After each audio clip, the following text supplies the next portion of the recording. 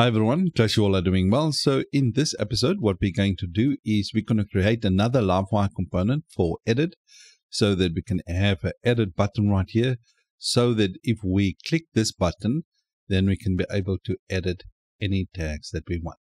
All right, so let's get started. All right, so let's open up your terminal. So then we're just going to do PHP artisan make Livewire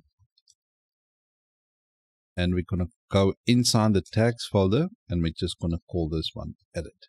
All right, so let's make a component. So as you can see, we got a class right now and we created a view. All right, so let's quickly go there under app, HTTP Livewire, under tags. All right, so for those that have been following the series, you will see that I just changed my store one just to create kind of just to keep the restfulness of the of the folder so right now I'm just going to have a create, edit, and index, and I will have a delete one in the coming episode. Right, so let's go to the edit one right here. Now, this is our class, and this one is our view right there. Now, before I do anything in here, so let me just call this one just edit for now. Right. And what I'm going to do in my index view, where I'm going to use that edit view. So let me just bring it in here. So our edit component. So what I'm going to do, I'm, I have to link it right here. So livewire tags.edit. But now there's an important thing we need to do because we're going to pass through the tag to the component. Okay, so we're just going to pass the tag so we can receive this tag that we're looping over right here and we're going to pass that to the component. But here is the important note as well. Both are important, but I just want to emphasize on this one right here. So the wire key, you can use wire key or you can just use key. Both up to you. Now the thing is, since we're using a nested component, the reason that's why I kind of like to do this lesson right now, because if you're doing nested components, you need to understand that in order for Livewire to keep track of everything that's happening inside this, uh, basically inside our index component, and to keep track of its children right here, it needs to have a key. Otherwise, it won't know because all of these, let's say we're looping, let's say 20 tags, all of them is going to have probably the same identity key, and that is not the ideal situation you want to be in. Right, so what you want to do is you want to sign them a very unique key. Right, so what I'm going to do, I'm just going to do a wire, wire key. So just for you guys to have both. Right, so just going to put, right, so now the thing is, we got, let me just give some room here. So what we have is we've got our double quotes and then we have our single quotes. Now in our single quotes, what I'm going to do, I'm just going to call this one edit, all right, tag like this right? And then inside that, I'm just going to concatenate the tag ID, just like this. All right, now what will happen now is for every single tag, it's going to have a unique tag ID of edit tag with like edit tag 1 or edit tag 2 or edit tag 3. Now let's say we add another nested component now in this case which, which we will do is we will add the love livewire tags or delete and it's also going to have a unique key needed. So in that case we're going to do delete tag tag ID and etc etc but i'm just going to mention this very quick because i'm going to explain to later in detail. Now the thing is you must understand if you're coming from vue.js or you're coming from any other uh, javascript framework in livewire the children components are not i'm just emphasizing not reactive. So if the parent component component change, the children don't react to the parents' change. So there's a kind of little hack that we have to do in order for the children to be reactive to the parent. But I'm going to explain that uh, to a little bit more detail when we get to that part. Okay. So for now, just bear with me. The little hack that we have is just we can add just a now timestamp to force the child to be reactive to the parent. If you don't understand that, you will understand a little bit later. All right, so what I'm going to do, I'm just going to call this one edit uh, button. Okay, so for now, let me just delete this one.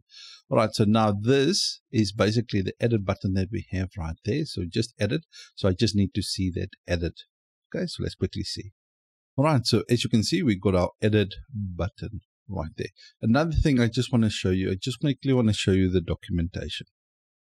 All right, so I just wanted to show you guys this. If you go to nested components under the documentation, if you want to go and read more about it, just read this part right here.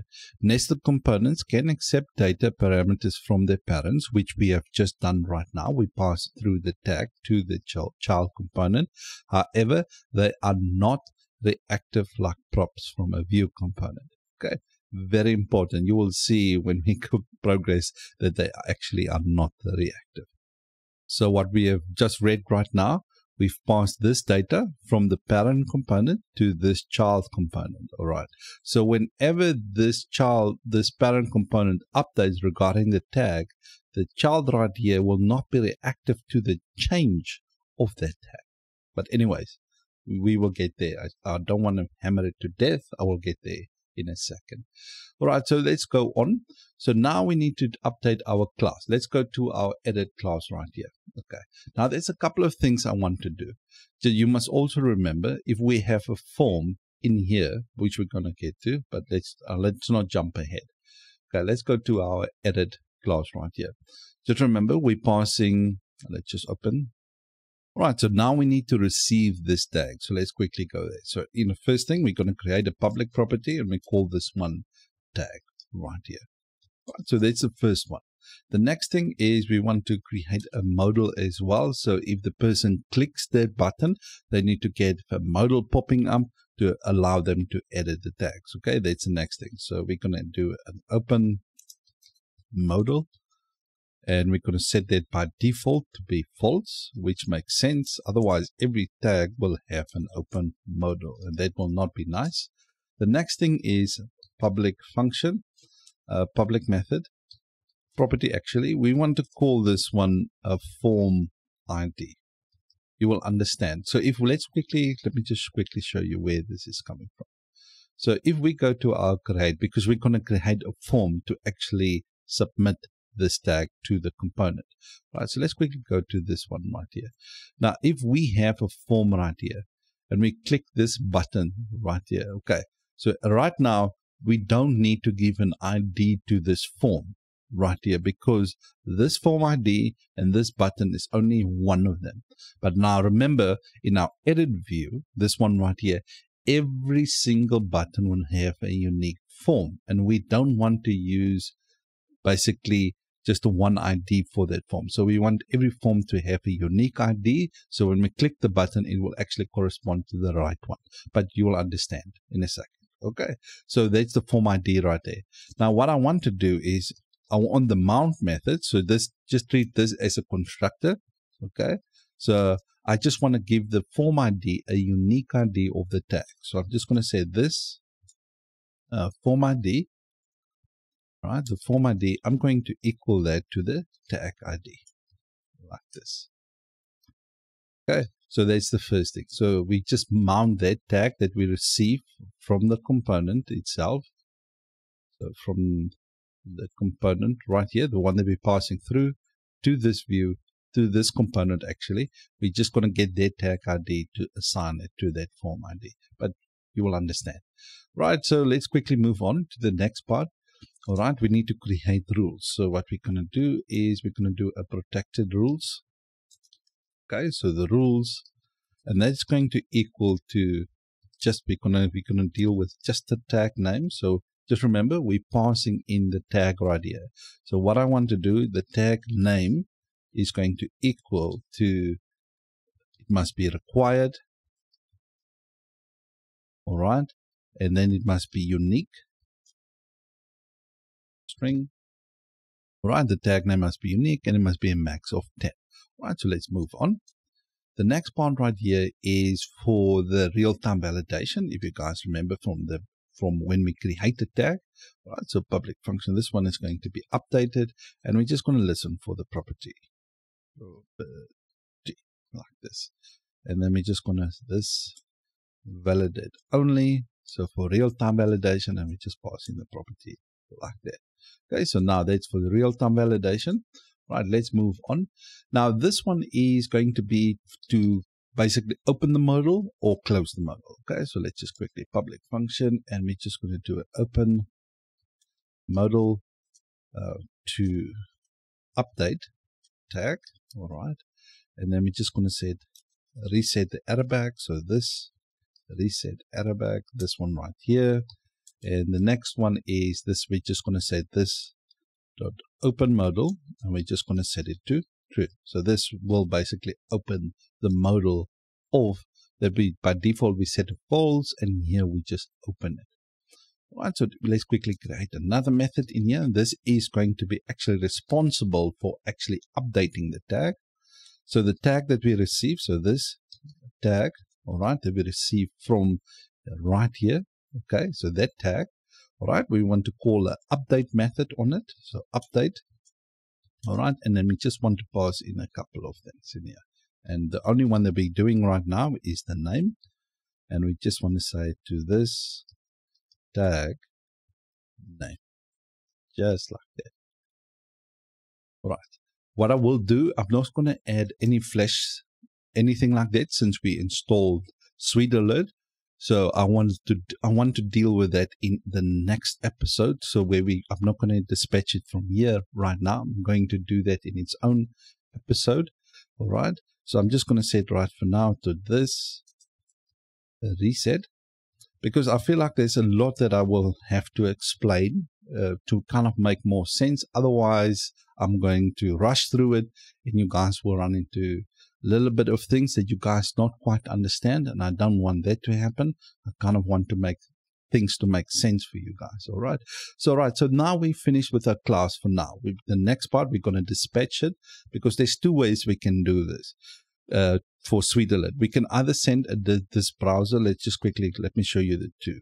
All right, so we can uh, dispatch an event or we can this emit an event. All right, they're both ways we can use for SweetAlert. All right, but I want to explain. That's why I want to kind of dedicate that to its own episode so that we can learn quite a number of things from it. All right, so then we reset that. All right, so let's quickly go to our tags edit view. This one right here. This one is actually responsible for having the form and everything and communicating with our component right there. All right. Now, what we can do is let's go to our create one. Just to make it easy for us, let's copy everything inside your create or if you have the other one, if you didn't uh, change your name, your previous name was store, just copy all the things in the store right there and just paste them in your edit view like this. All right, so let's quickly make a couple of changes in here. All right, to check the error now, the only change we need to make, this doesn't mustn't be just a name, so we must actually include the tag name like that, okay, because it's the tag parameter that we're passing through. All right, so this, instead of a create tag, this needs to be edit tag, just like that. All right, and this needs to be, I'm just going to make this yellow. Just like this. All right, so when we click this button, open modal to update tag, not create tag. So, so we're just going to call that update one. So let's go in here. You will see I'm calling on this update modal to update tag, open modal to update tag, that one right there. Okay, so the alert message will disappear. I'm not going to make use of the alert message. Okay. Actually, what I want to do, I want to use Blade UI Kit icons instead of the edit tag, but for now, let's leave it like that. Right, so we've got an open modal. So this is basically, if we click this button, this needs to be set to true and it will open this right here. Now, as the title stands right there, I'm just going to call this one update tag. Like this. Okay, so I'm just going to put update actually there. All right, let's move on. The next part is quite important. The next, this part right here, the update, this needs to correspond to the method, this method right here that's responsible to update the tag. So we need to change this to update. All right. The ID for the submit form. Just remember, because we don't have the button, just for those that are new, please bear with me.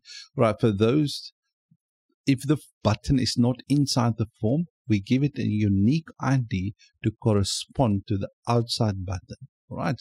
Because in that button we have a form and we correspond that name right there to the name of the form right there. Okay, so that's why we want to give every form a unique ID. If you don't want to do this, you just add a button, submit button between the form text right there. Okay, anyway, let's move on. Now, the thing is, I want to give this one a name of update form. Okay, so otherwise it's going to look for that. All right, and we're going to just add that form ID. Okay, so uh, this form ID just to kind of give it a unique name because remember the form ID, I set it to the tag ID of the passing parameter that we receive from the parent component. Okay, so the form ID right there. Okay, let's move on. The next thing is everything stays the same in here except now we don't get the name, we're getting the tag dot name. Okay, so let's just change the name. Let me just copy this part right here. Um, let me just do it actually like this. So we're just going to put tag dot notation. So tag dot like this, and the error is tag dot like that. All right, so just make sure you change them from tag dot because we we actually do right model. So we're just getting the tag right here, and as you can see, we validate the tag dot name like that. Okay, so that's the first part. Now let's move on the footer, everything still stays the same because remember we're using the same property that we're toggling right here. So that one right there, okay? So that is the never mind. Now the other thing, since we're doing the form submit right here, we need to change that to be correspond to this name right there. So I can copy everything in there and paste it in here. And that will be for like having the same same name. So if I click this button, it will correspond to this form right there. Now the thing is this wired target and we want to target the update like that. All right. Awesome stuff. All right. Like I said, I want to handle the emitting of the event for the update event in the next episode. But what, what, what I do want to do in here is I want to add an add push for the scripts so that I don't have to do that in the next episode. All right. Because what we're going to do, we're going to listen for either the emit event or the dispatch event right here. Okay. So let's quickly go to our layout view. So under resources, views, layouts right here, and I'm using the guest layout. I added the add stack scripts. Just make sure it's underneath your LiveWire scripts, just like that, okay? Not above it. Okay, so let's just do it like that. Right? So now, in the next episode, what we're going to be doing is if we actually put any scripts and listen for, because we're going to dispatch the sweet alert from here. All right. Anyways, let's quickly see if we can get this button and this modal to work. Right, so let's click this button. Right, so as you can see, it popped up the modal with the details in there. Right, so anyways, that's the end of this episode. What we're going to do in the next episode, we need to add our sweet alert. And there's kind of a couple of things I want to show you guys right there. Right, thank you guys for watching. And sorry that it's a little bit of a longer episode, but I really wanted to explain a little bit more in there. So if you guys want to skip through the video, all good. But for those that want to learn something, they can learn it in there. Otherwise, I'm just being skimpy. All right. Thank you guys. Like the video, comment, feedback, suggestions for me in the comment section, and see you guys in the next one. Adios.